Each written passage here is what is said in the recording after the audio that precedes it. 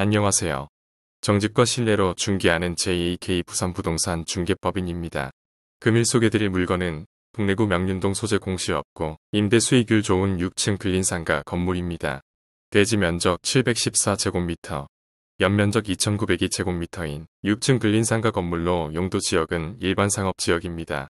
지하철 동래역 도보 5분 거리로 버스 이동 거리 4차선 대로변에 위치하여 접근성 뛰어나고 명륜 1번가와 메가마트 상권에 위치한 상가 밀집 지역이라 유동 인구 항상 풍부합니다.